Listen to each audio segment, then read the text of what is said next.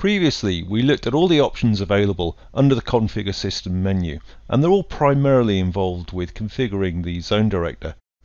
However, I pointed out that there were some other menu items that we need to think of, the alarm settings, WIPS, certificate and location services that also relate to the controller settings, and we'll look at those now.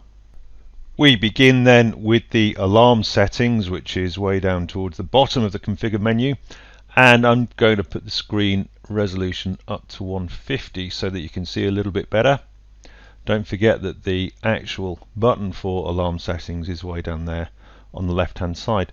So here are your options for the alarm settings. The first is the email notification and if you want email notification for any alarms that uh, occur then you need to tick the box here but don't forget you also need to have in the system settings the email server configured.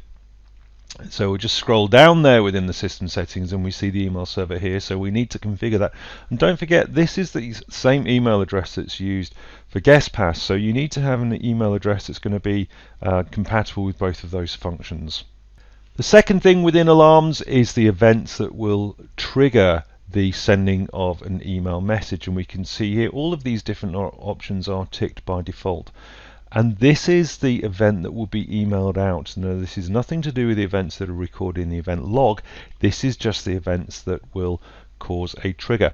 Now if you do receive an email regarding an alarm event then you will only receive it once. If that event happens subsequent to that you won't keep getting an email every time that happens unless you go into here into monitor and then scroll down to alarm events. And within alarm events here you will see a list of the events that have been emailed out to you. And if you clear the event then you will get subsequent updates if that event reoccurs. So just bear that in mind. After alarm settings we look at WIPS wireless intrusion detection and prevention system First option we'll see is denial of service and we've got two choices here.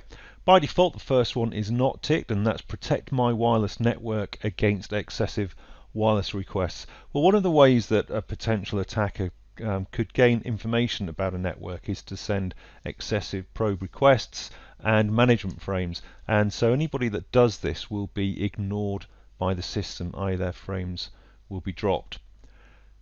Second option is to temporarily block wireless clients with repeated authentication failures. Now it doesn't necessarily indicate that somebody's hostile or mounting some kind of attack against your system, but what it does do is it just ignores devices that are unable to authenticate that are trying to get into the network, even if it's got a valid reason. We can block them for a period of time that goes from 10 to 1200 seconds and the default as you can see is 30.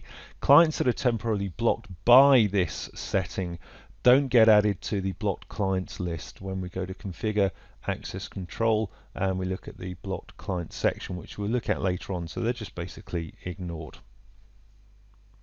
The next option is intrusion detection and prevention and this is using information that the zone director receives from background scans from the access point. So the first option is enabled by default and that's enable report rogue devices. But before we look any further into this, let's make sure we understand what a rogue device is. Well, it begins with a look at our managed access point. So this is an access point that's managed by the zone director. Well, of course, there are going to be other access points in the environment that the access point is going to sense. Now, these are just other people's access points functioning normally, but we detect them and we mark these as rogue access points. They're not malicious, they're just access points that we've happened to detect in the local area. However, there are access points that do display behavior that can be regarded as suspicious, and when we detect those, we class them as malicious rogue access points. Now, this will be an access point that's displaying either SSID spoofing, copying a known SSID that we are using. It's on the same wired network, it's MAC spoofing, so it's copying a MAC address, or it's user blocked, and that's an access point that we as the administrator have marked as rogue. By default, all rogue access points are logged. Well, I mentioned that the access points detect rogue devices, by using background scanning but of course we don't have any access points connected to this controller yet but I do have some access points connected to another controller. And under monitor rogue devices we can actually see the rogue access points that this controller has picked up. So I have an access point connected to the controller functioning normally and it's identified some access points in the local area. Now these aren't malicious, these are just neighbor access points, but they're still identified as rogue because we've set that setting to enable us to detect all rogue access points. If I click the plus sign next to one of the detected rogue access points, it tells me which access point actually detected it and it tells me about the RSSI, which is the received signal strength. So that's an indication of how close that access point is. Well, I mentioned that these are really all going to be neighbor access points, so there's nothing particularly malicious about them. But I do know what they are, so I can click them as mark as known, and then it will be taken out of the log. And this access point uh, that's listed as malicious was actually a printer, and so that's been highlighted as being a device that's on the same network. I was setting it up yesterday, it had Wi-Fi capability, so it's been flagged as malicious and so I can again mark that as known and there we go into our known recognized devices. Um, something else we can do is if we pick up a device that we actually uh, recognize as a malicious and it's not been marked as that we can flag it as malicious. And then the wireless protection will come into play with this. And again we'll have a look at how that works later on. So we can see what happens when we have report all rogue devices enabled. It means that we're going to pick up and log any neighbor access points that are just access points in the area and they're actually completely safe. We can choose to report only malicious rogue devices and this is the devices that we looked at previously that are SSID spoofing. They're on the same wired network, they're MAC spoofing or they use a block which is access points that we've designated as malicious. But once we start getting that information, we can also choose to protect the network from malicious rogue access points. Well, let's take a moment now to think about how that works. When network protection is enabled, we have our own access points that are just operating as normal. We then detect something that we regard as a malicious access point according to the criteria that we've set.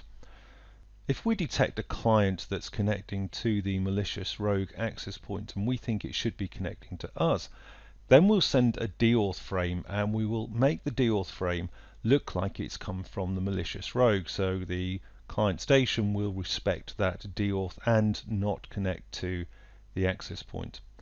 One thing that we do have to be careful of is that deals sometimes can catch out networks unawares and we're actually deauthing clients that are legitimately trying to connect to an alternative access point and we're putting up a denial of service for a network that actually isn't malicious. In some countries this can be legally questionable so please do make sure that if you put this into operation that you know what your local regulations are and that you're compliant with them. So the final thing that we'll see under WIPS is the rogue DHCP server detection. As you know, a rogue DHCP server can cause problems for your existing DHCP services, so it's good to have a method to alert you if a rogue DHCP server is detected. Very straightforward, and that's the end of everything that's under WIPS. Next we go to certificate. Now certificates are relatively straightforward. Here you can generate a certificate signing request. Now why do we need this? Of course if we look up here on the top left we can see that the certificate is not secure and that's because we don't have a trusted certificate in there. If you are going to be doing any sort of public services or authentication services then it is a good idea to have the controller with a certificate.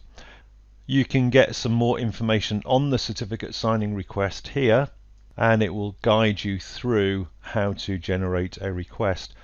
Now once you've got your certificate you can import it and then the certificate will show as a trusted certificate. This is showing the current certificate which is the self-signed certificate that the controller makes during the system setup. We do have one or two advanced options to do with the certificate services, but this is really for people that understand certificate services. Uh, we're not going to go into it too deeply here, but this is just a little bit of extra information that you would need to have a look at, including backing up your keys and your trusted CA. If you know about certificates and you're comfortable with certificates, then you won't have any problems here. From certificates, the final place we will look at in this section is location services. Location services is something that you use in conjunction with Ruckus Spot and this configuration is really covered under the Spot training so unless you're working with Spot then you don't need to worry about this configuration option here. And that brings us to the end of this module on some of the configuration settings that relate directly to the Zone Director.